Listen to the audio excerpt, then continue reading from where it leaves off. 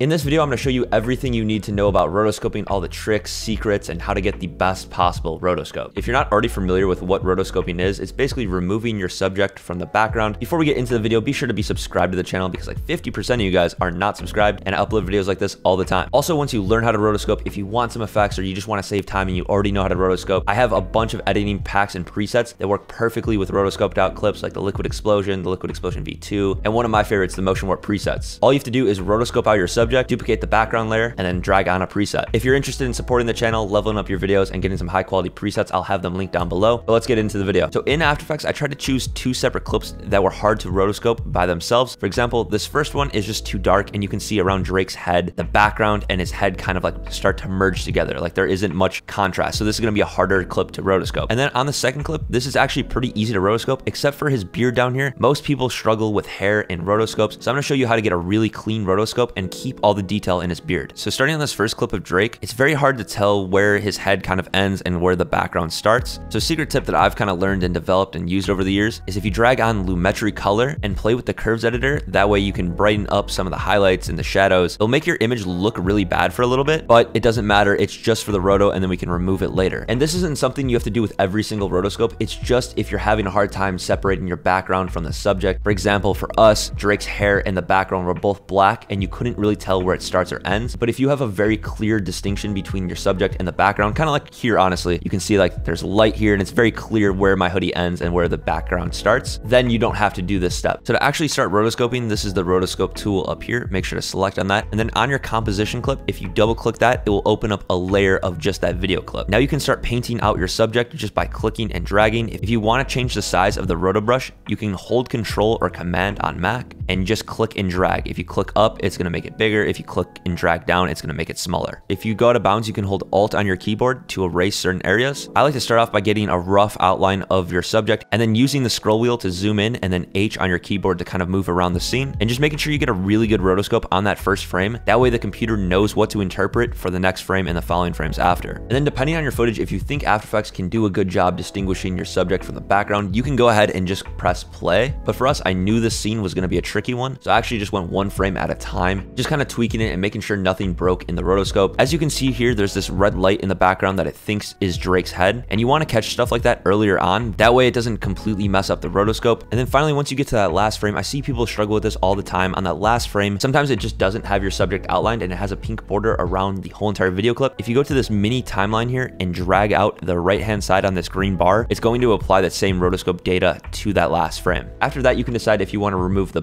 background or your subject. If you want to remove your subject, you can click invert foreground slash background. And this is really important. Once you have a good rotoscope, make sure to click freeze before you go ahead and close out of it. That way it's going to lock in the rotoscope and it's not going to change over time. After that, to get back to your project, just make sure to close the layer with the rotoscope. And now you can see we have a rotoscoped out subject. If you don't see a checkered background, you can go down here and toggle the transparency. It's either going to be black or checkered. To see if you have a good rotoscope, I'd recommend going to the checkered. It's just easier to see most of the time. And now we can remove that Lumetri color. It's no longer needed. It was just to help us get a better rotoscope. And to get the best rotoscope on your footage, it's really good to play with the feather and then also the shift edge. Most of the time, I find myself bringing up the feather a little bit and then actually bringing the shift edge to the negative. I always like to err on the side of removing too much. And then you can go ahead and duplicate that layer with the rotoscope and delete the rotoscope effect from your background layer. That way the top layer is just the subject by itself and the bottom layer is a completely normal video clip. And if you want a really simple way to add VFX behind your rotoscoped out layer, I have a bunch of editing packs and presets that will help you do that. For example, the Liquid Explosion V1, V2, and then also the Motion Warp pack are absolutely amazing and designed for rotoscope out effects like this. Just go ahead and duplicate that background layer one more time and then drag on any of the Liquid Explosion presets. The Liquid Explosion presets give you this really trippy look and they're fully customizable. You can change the keyframes or the values or the colors, whatever you really want. They're just a great starting point for some VFX. And if you want something a little bit less flashy, more clean and professional, I love the Motion Warp presets. You just drag them onto the background layer again, just like how we did before. You can change the length of the keyframes and it gives you these really clean like background whips and swipes and just looks really clean and professional on your footage. Now moving on to the second clip, this is going to be really easy to rotoscope except for Drake's beard here. You can see how there's kind of like some transparency behind the background. So start off by just rotoscoping out your subject and getting a good outline. After that, we need to make sure we have a really clean rotoscope on Drake's beard here. So if you go up to where the rotoscope brush tool is, if you click and hold, there's also a brush called the refine edge tool. That's the tool we're going to be using to make sure his beard is perfectly masked. So select on that. I'd recommend bringing your brush down a decent amount by holding control and dragging down, and then just going around where his beard is, and you can see how it like turns it black and white and it shows the detail between the background and his beard. Make sure you get a good selection of the hair in the background. And now, like I said, this one's gonna be a really simple roto, so you can actually just press play. You'll learn over time when you have to go frame by frame or when you can press play. For this example, the background is very distinct from Drake, so we don't have to go frame by frame and select everything, but we did have to go ahead and use the refine edge tool to make sure that we get his beard properly. After that, go ahead and click freeze. And now you can see how good the refine edge tool actually did here. You can see we didn't lose any detail in his beard, but we also don't have like a harsh, weird edge